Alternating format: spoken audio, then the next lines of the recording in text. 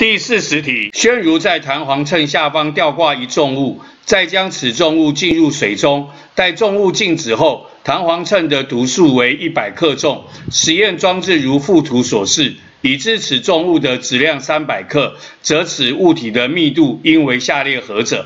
我们晓得密度的计算是 D 等于 V 分之 m，我们已经知道重物的质量是三百，所以我只要找到体积就好了。那体积怎么求嘞？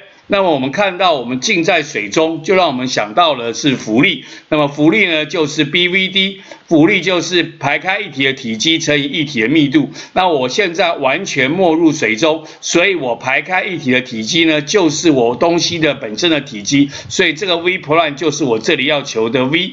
那么我们的这进入是水中，所以排开的液体的密度是一。那么那怎么样求 Vp？我们还需要知道浮力呀。那浮力怎么办呢？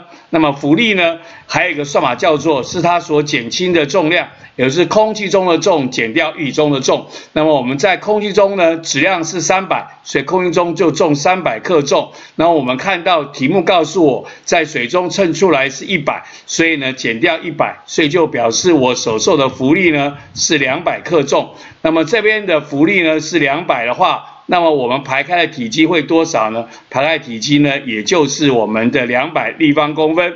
所以，我们排开的体积是两百立方公分，就表示物体的体积也是两百立方公分。所以这里就是两百立方公分。那我们算出来呢，就是我们的密度呢，就是每立方公分呢是一点五克。所以第四十题问我们说，则此物体的密度应为下列何者？我们答案选的是 C，每立方公分一点五克。